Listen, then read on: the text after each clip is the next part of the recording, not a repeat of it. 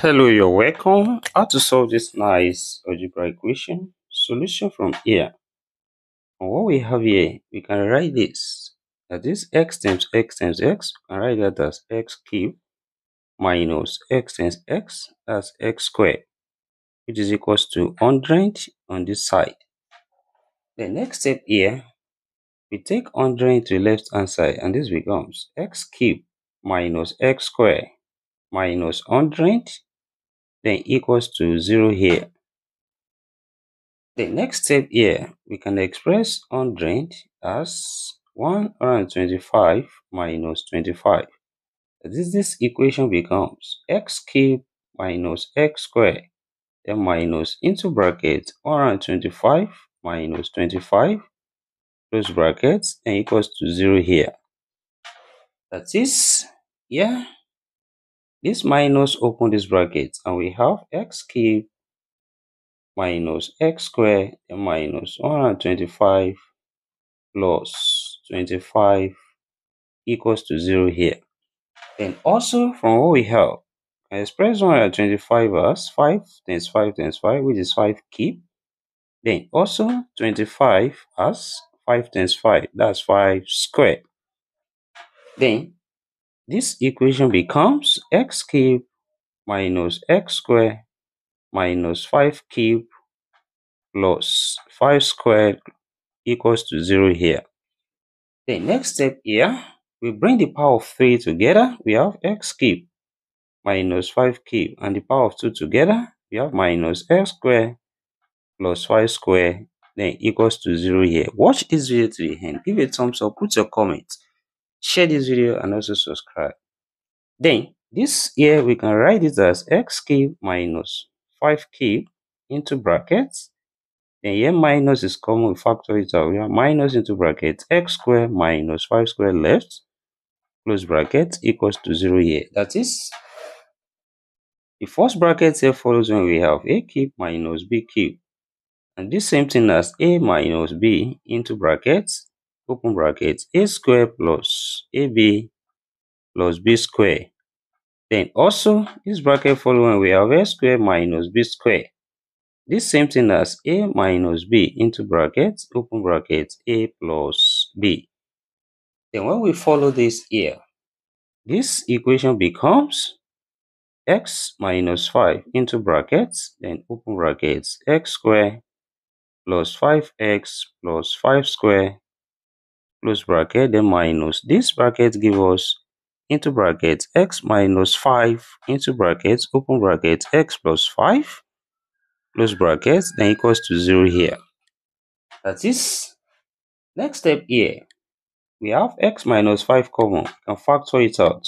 Then what we have becomes x minus 5 into brackets open bracket. Here we are left with x squared plus 5x plus 5 square which is 25 then here we are left with minus into bracket. X plus 5 close bracket then closes bracket equals to 0 here. That is next step here this minus open this bracket. Then what we have becomes x minus 5 into brackets then open bracket. Here we have x square plus 5x plus 25 then minus x minus 5 close brackets equals to 0 here. That is next step what we have becomes x minus 5 into brackets open brackets. Here we have x square 5x minus x gives us plus 4x and 25 minus 5 we have plus 20 close brackets equals to 0 watch this video to the end. Give a thumbs up put your comments share this video and also subscribe then next step here, we also have two possible cases. The first one we have x minus 5 equals to 0 or we have x squared plus 4x plus 20 equals to 0 here. That is, solving on this side, we have x equals to 5 which is a real solution here. And also on this side we have a quadratic equation where a equals to 1, b equals to 4 and c equals to 20. Then, applying the quadratic formula, we have x equals to minus b plus or minus square root of b square minus 4ac over 2a. That is, what we have here becomes x equals to minus 4 plus or minus square root of 4 square minus 4 times 1 times 20 all over 2 times 1. That is, we have x equals to minus 4 plus or minus square root of 4 square, that's 16. Minus 4 times 1 times 20, we have 80. Then all over 2 here. That is, here we have x equals to minus 4 plus or minus square root of 16 minus 80, we have minus 64 all over 2, which also can be written as x equals to minus 4 plus or minus square root of 64 times minus 1 all over 2. And this follows when we have roots a times b, which you can separate as root a times root b. That is, here we have x equals to minus 4 plus or minus root 64 times root minus 1 all over 2. Then, next step here, we have x equals to minus 4 plus or minus root 64, that's 8, 10 times. Root minus 1 is i over 2.